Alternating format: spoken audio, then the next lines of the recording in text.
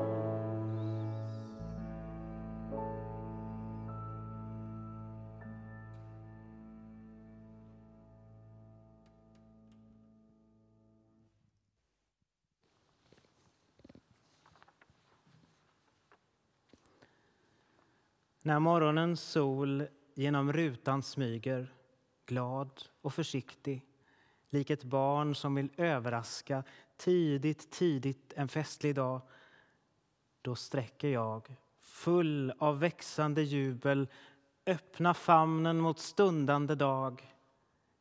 Ty dagen är du, och ljuset är du, solen är du och våren är du och hela det vackra, vackra väntande livet är du.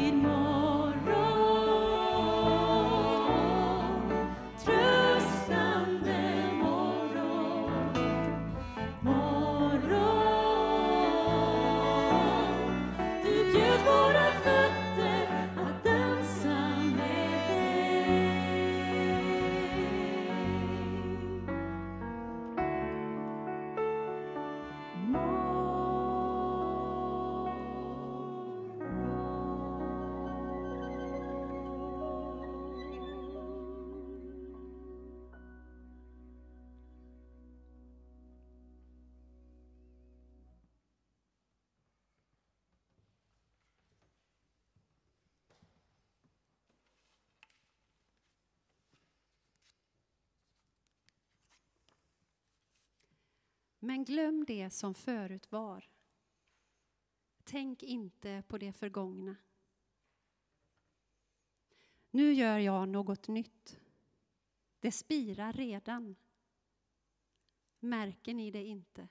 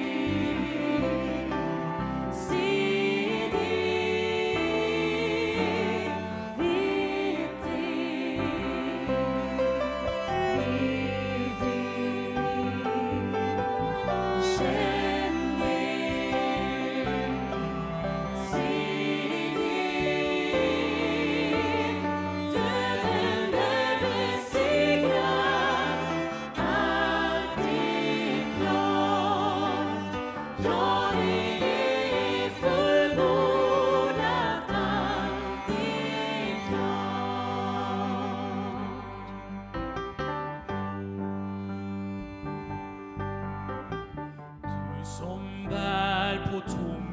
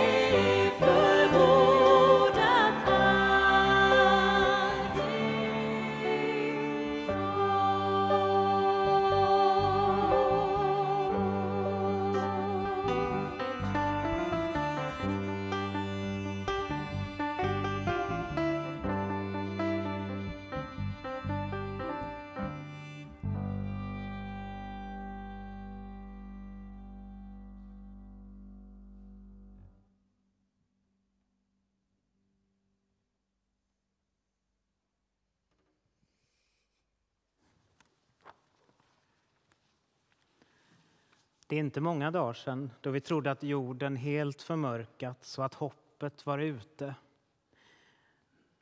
Under ett par dagar har tiden stått stilla. Som det kan kännas när vi mister en kär vän, en nära anhörig eller tron på att livet ska bli bättre. Dagarna blir overkliga och världen runt omkring tyst och öde. Livet ofruktbart och andningen tung, övergivenheten påtaglig. Märkta av mörkrets sår har vi svårt att se några strimmor av ljus. Men så plötsligt hör vi en sång, svagt i fjärran. Det är kvinnoröster, kvinnorna vid graven. Tonen är klar och varm. Hör vi den långt borta eller inom oss? Vi märker det knappt, men det blir ljusare där vi går. Dagen gryr. Vi hör koltrasten. Kanske sjöng han också igår, utan att vi lyssnade. Det är skönt att andas efter regnet. Vi känner vårsolen och den ljumma vinden i ansiktet som milt smeker våra kinder. Det är vackert. Kvinnornas röst sjunger. Det är påsk på jorden. Det är påsk på jorden. Vi trodde det inte. Men det finns en botten i all förtvivlan, i all sorg, i all meningslöshet. Det finns en botten. Även i den mörkaste natt gryr dagen, för det är påsk på jorden. Kanske inte ens Jesus i sin övergivenhet förstod att plågor, vånda och död skulle ha sitt slut.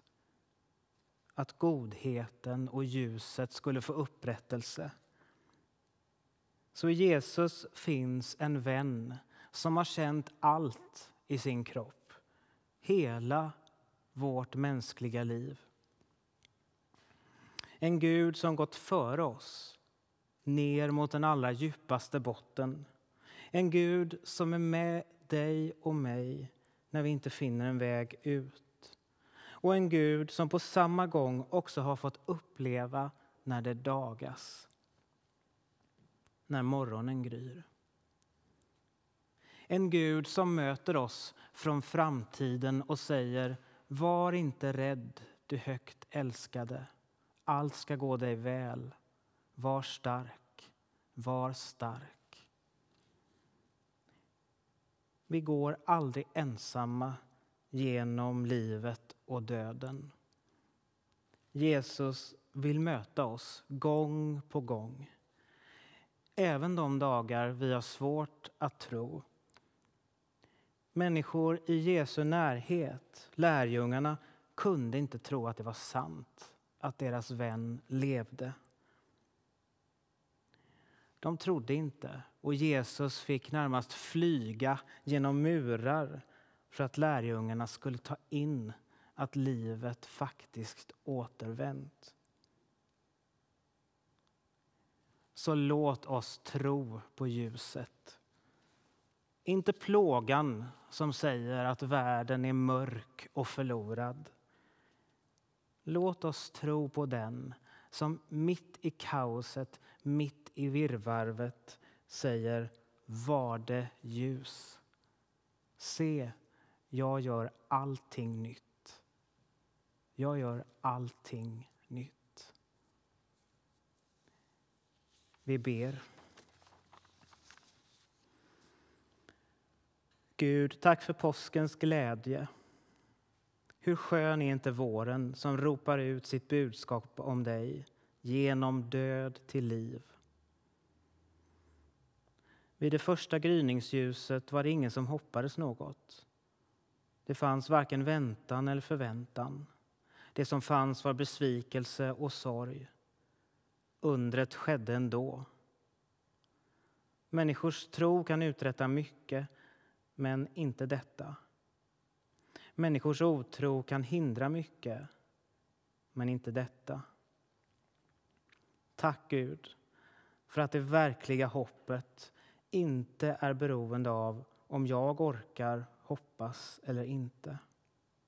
Kraften är din. Gud, möt oss. Möt oss på vägen, i vimlet i vardagen. Möt oss i stillheten om natten. Kristus, det räcker inte att andra berättar att du har uppstått. Vi behöver möta dig i vår vardag. Bli berörd av din vilja att förnya också där vi inte tror att det är möjligt. Känna att du går med oss vart vi än tvingas att gå. Öppna våra ögon för din kärleksverk. Det ber vi om i Jesu namn. Amen.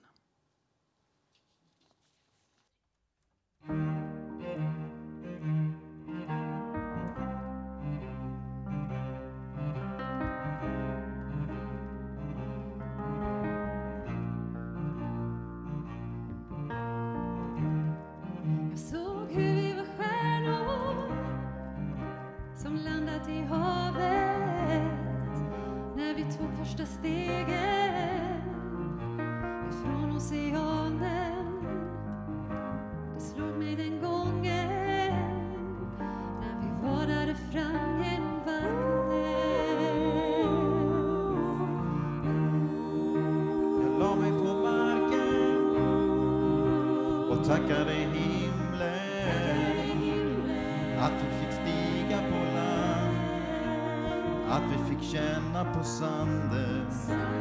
Nu kan vi säga att vi har varit på jorden.